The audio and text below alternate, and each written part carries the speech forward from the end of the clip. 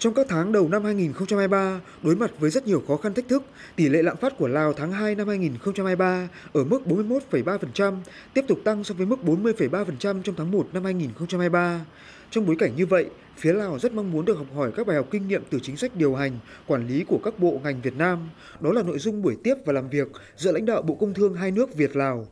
Tại buổi tiếp và làm việc, Thứ trưởng Bộ Công Thương Lào Bun Thưởng Đuông Xoa Vẳn mong muốn trong chuyến công tác lần này được nghe chia sẻ kinh nghiệm từ các cơ quan quản lý của Việt Nam liên quan đến các nội dung phát triển khu công nghiệp, năng lượng tái tạo và năng lượng xanh, phát triển và ổn định thị trường xăng dầu, vân vân.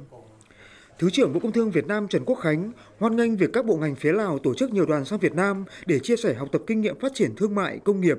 Việt Nam cũng rất quan tâm đến tình hình phát triển kinh tế tại Lào và thường xuyên nhắc nhở các đơn vị liên quan theo chức năng và nhiệm vụ của mình hết sức hỗ trợ Lào vượt qua tình trạng khó khăn chung. Thứ trưởng cũng đã chia sẻ một số nội dung bao gồm vai trò của Bộ Công Thương trong việc đảm bảo lưu thông hàng hóa, kinh nghiệm thu hút đầu tư vào việc phát triển các khu công nghiệp, các yếu tố ảnh hưởng đến vấn đề quản lý giá hàng hóa, kinh nghiệm điều hành thị trường xăng dầu tại Việt Nam.